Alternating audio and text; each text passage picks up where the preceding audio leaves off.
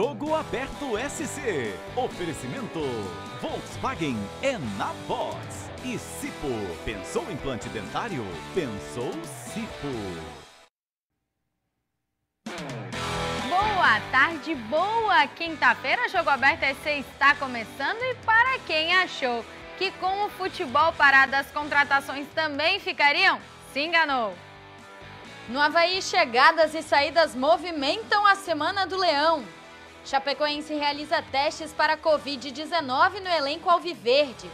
E Figueirense começa amanhã os exames com atletas e comissão técnica. Tudo isso e muito mais aqui no Jogo Aberto SC.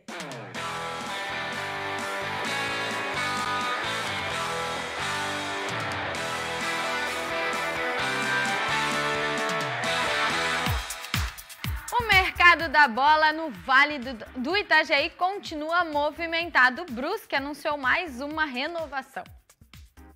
O Brusque oficializou a renovação de contrato com o volante Zé Matheus. O jogador de 25 anos teve o vínculo com o clube estendido até o final de 2022. Zé Matheus chegou ao Bruscão em 2018 e conquistou duas Copas Santa Catarina, Campeonato Brasileiro da Série D e a Recopa Catarinense. No Brusque, o atleta soma 63 partidas disputadas e marcou seis gols com a camisa do quadricolor. Durante a semana, o Brusque também anunciou a renovação do lateral esquerdo Ayrton e do goleiro Zé Carlos. Entrou num consenso com, com, com o Bruce, né, com a diretoria, e permanecemos né, no, no, no, clube. Então estamos muito felizes por esse momento. Ah, a gente tem tudo para fazer é, campanhas muito boas pela frente, né? E o, e o torcedor está do nosso lado, ele sabe da importância dele. O técnico Gercinho já tinha manifestado durante a pausa dos treinos que uma das prioridades do Brusque era manter o elenco. E a gente conversa muito com a diretoria, né? A gente sempre, sempre coloca para eles que o, o maior reforço da, do, do Brusque para o segundo semestre seria manter esse, esse grupo, né? E graças a Deus eles estão conseguindo fazer esse trabalho também bem, muito bem feito. E a gente fica feliz, né? Porque, como eu falei, são jogadores fundamentais na nossa, na nossa ideia de jogo, nosso modelo. O time do Brusque segue treinando no Augusto Bauer. Ainda em processo de readaptação, os jogadores estão fazendo treinamentos individualizados, seguindo as recomendações dos órgãos competentes de saúde. No Havaí, as contratações também aconteceram. Renato chega pela terceira vez no Leão da Ilha e tem o volante ex-Corinthians, Ralph. Assuntos para o comentarista esportivo Décio Antônio, que vai falar um pouquinho para a gente sobre a chegada do Renato e também do Ralph.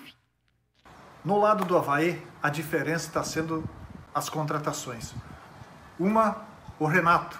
Terceira vez que ele passa pelo Havaí, que ele está chegando ao Havaí. Duas vezes que ele passou muito bem, subiu de divisão as duas vezes e agora novamente foi contratado para vir jogar e vir ajudar realmente o Havaí a subir de divisão novamente. Tem o Catarinense agora, mas depois o fundamental é a subida de divisão para a Série A. É um jogador que tem qualidades, mostrou no Havaí, é, se encaixa muito bem nesse time do Havaí, então o Havaí contratou novamente ele para ajudar realmente nessa Série B. É um meio de campo que vai ser muito forte, principalmente porque tem a chegada do Ralph também. Um volante de qualidade, um volante experiente, um volante que sabe jogar realmente e vai ser o cara que vai estar comandando, juntamente com o Bruno no meio de campo, Valdívia e o Renato. Então é um meio de campo onde a briga vai ser muito boa para a titularidade. Logicamente não falo dos outros, mas esses jogadores do Ralph e do Renato que estão chegando são dois jogadores que vão dar fazer uma diferença nessa equipe do Havaí para esse segundo semestre.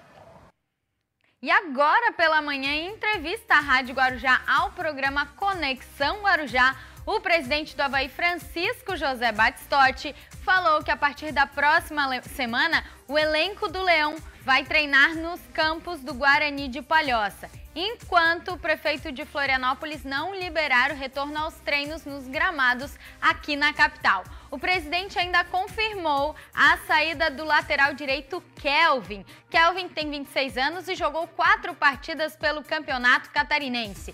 Com a volta do Renato, que é lateral direito de origem, oficializou então a saída do lateral Kelvin, que daí a questão do orçamento do clube, né? Entra isso. Chega jogador, mas sai jogador. E Batistotti também confirmou a assinatura do contrato do ex-Corinthians, o volante Ralph. Então, tudo hoje pela manhã, presidente Francisco José Batistotti falou à Rádio Guarujá. E a gente vai para um rápido intervalinho aqui no Jogo Aberto SC, mas fica por aí, próximo bloco, a gente fala de Figueirense, de Chapecoense, de Joinville, eu já, já volto.